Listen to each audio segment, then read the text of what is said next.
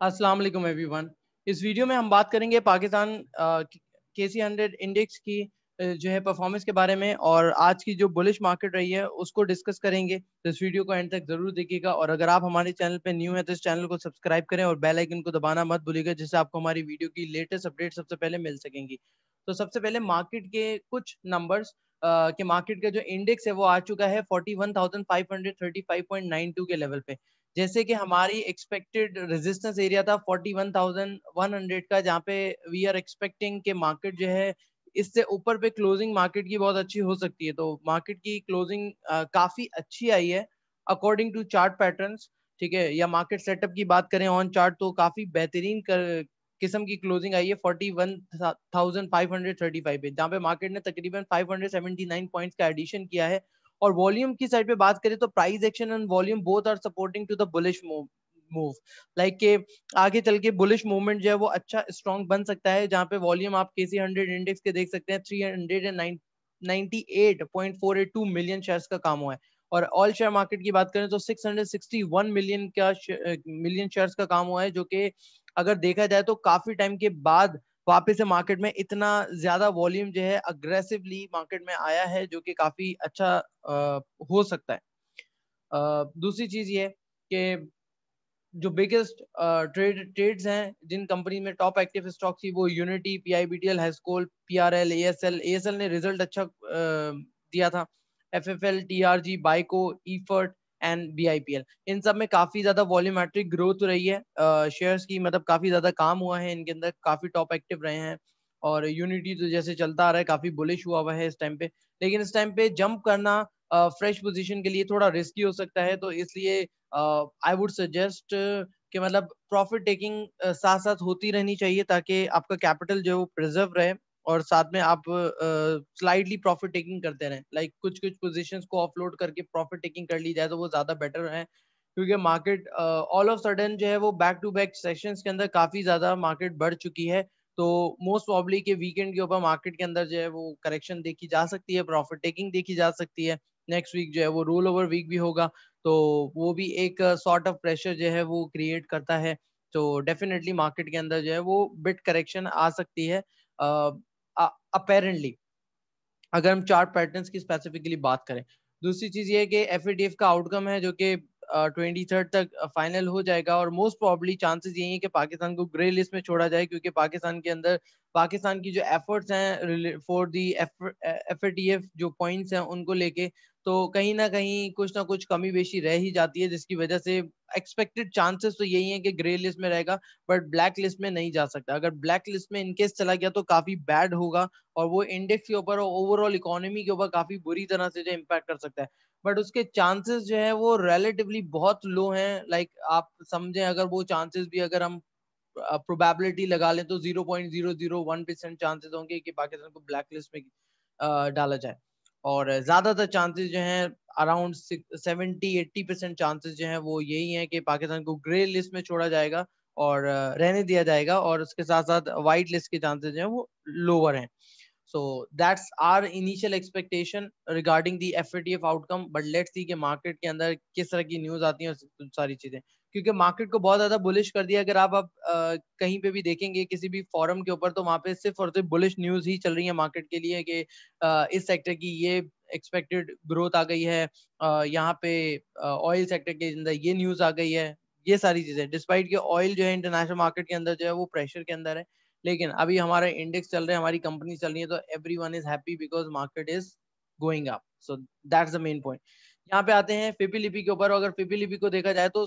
जो कॉर्पोरेट हैं foreign corporate उन्होंने आज बहुत ज़्यादा सेलिंग की है। तकरीबन 3.03 million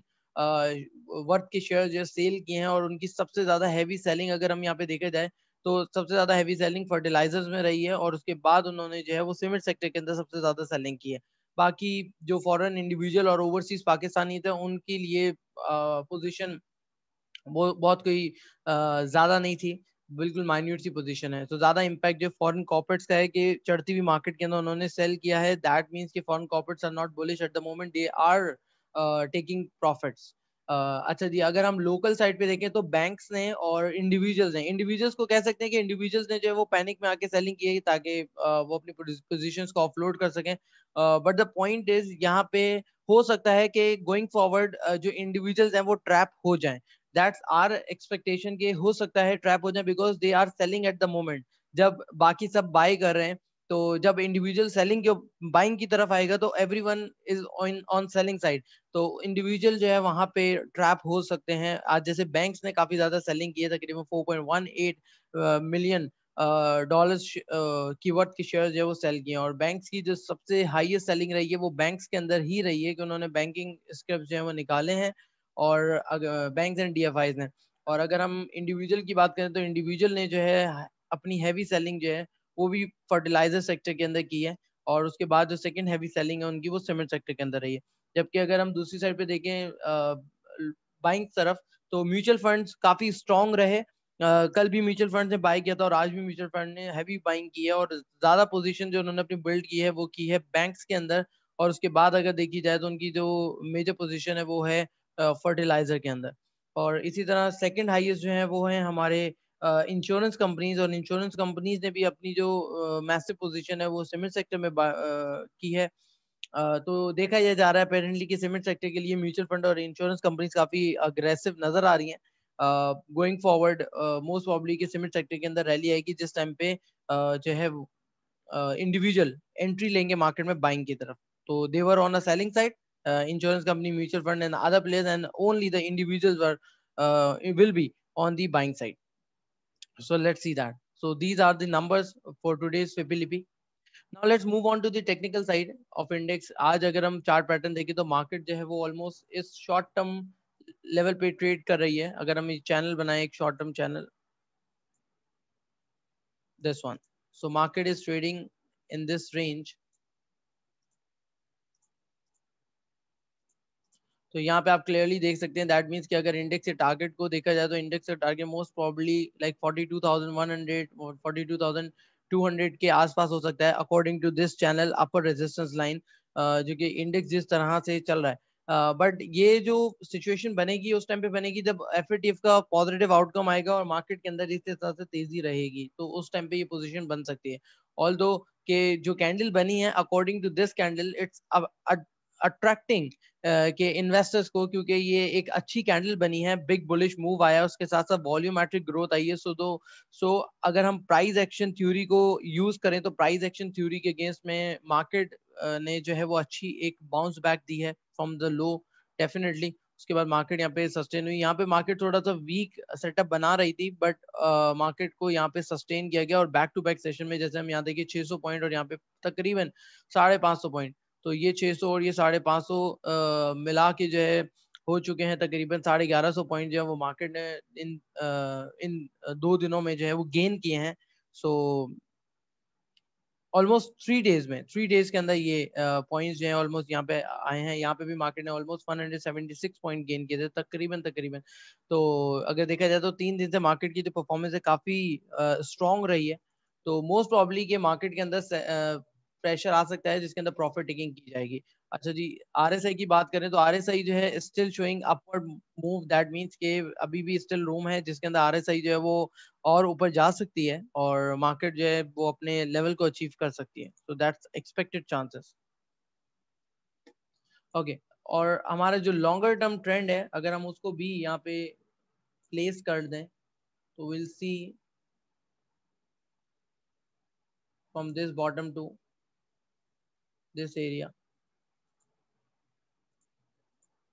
which is considering as a resistance one. So अगर आप यहाँ पे देखो तो ऑलमोस्ट यही एरिया जो है वो निकल कर आ रहा है फोर्टी टू थाउज़ेंड का कि मार्केट जो है वो इस एरिया के आसपास आके जो वो रेजिस्ट कर सकती है। So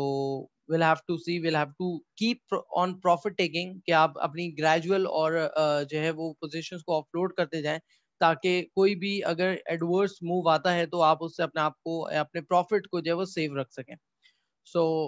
मार्केट का रिव्यू यही है कि अगर मार्केट जो है वो अपने 41,200 और के लेवल से ऊपर पे ट्रेड करती है so you can keep your long position and you can not sell your long position you can keep it ठीक है लेकिन अगर मार्केट इसे नीचे की तरफ़ आती है तो फिर आप उसे नीचे पे सेल कर सकते हैं और फिर then you can rebuy at at the support area which is around forty thousand five hundred now as per recent market setup तो उसकी बेसिस के ऊपर चालीस हज़ार पाँच सौ का लेवल बन चुका है, जो कि एक सपोर्टिव रोल प्ले कर सकता है, जहाँ पे री बाय किया जा सकता है कि मार्केट सस्टेन करती है तो। अदरवाइज़ जो है